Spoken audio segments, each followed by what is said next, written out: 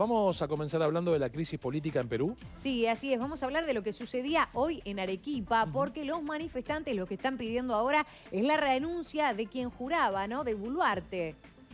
Las Fuerzas Armadas peruanas se desplegaron este miércoles para garantizar la seguridad en distintos puntos estratégicos de Arequipa, la segunda ciudad del país, que desde este martes se encuentra bajo estado de emergencia por las protestas y enfrentamientos con las fuerzas del orden.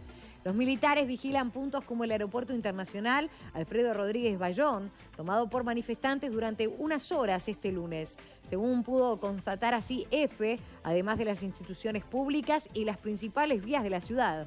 Centenares de manifestantes se concentraron este miércoles en el centro de Arequipa para exigir la renuncia de Buluarte, quien juró el cargo tras la detención del expresidente Pedro Castillo, luego de que intentara el pasado miércoles un intento fallido de autogolpe de Estado y el cierre del Congreso.